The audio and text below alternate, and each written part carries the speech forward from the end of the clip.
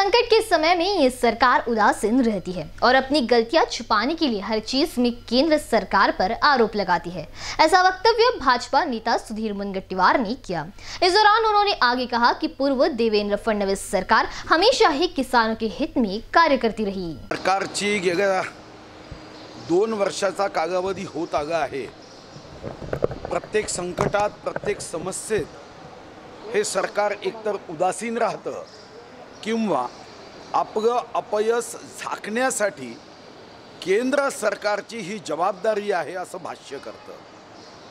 खरं तर जेव्हा शेतकरी अडचणीत असतो संकटात असतो देवेंद्र फडणवीसजी मुख्यमंत्री असताना आम्ही नेहमी शेतकऱ्यांच्या बाजूनी खंबीरपणे उभे राहिलो. एकोणतीस ऑगस्ट दोन हजार एकोणीसचा जी आर हा राज्यामध्ये आजपर्यंत अशा संकटाच्या परिस्थितीमध्ये सर्वात सहानुभूतीपूर्वक जाणीवपूर्वक शेतकऱ्यांना मदत करण्यासाठी काढलेला जी आहे.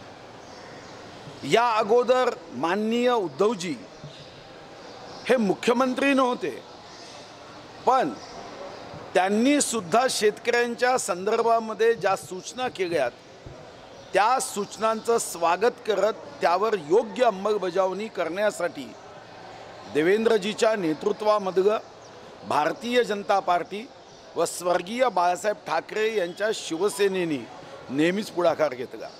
आज राज्याचं हे दुर्दैव आहे की सत्तेच्या प्रेमामध्ये खुर्चीच्या स्वार्थामध्ये हे इतके गुंतून आहे की शेतकऱ्यांची समस्या असल्यानंतर सुद्धा या अतिवृष्टीने झालेल्या नुकसानीचा आढावा घेत त्वरित मदत घोषित करण्याची आवश्यकता असताना पुन्हा एकदा नेहमीच्या सवयीप्रमाणे केंद्राच्या एन डी आर एफकडे दोष द्यायचा असं सुरू झालं आहे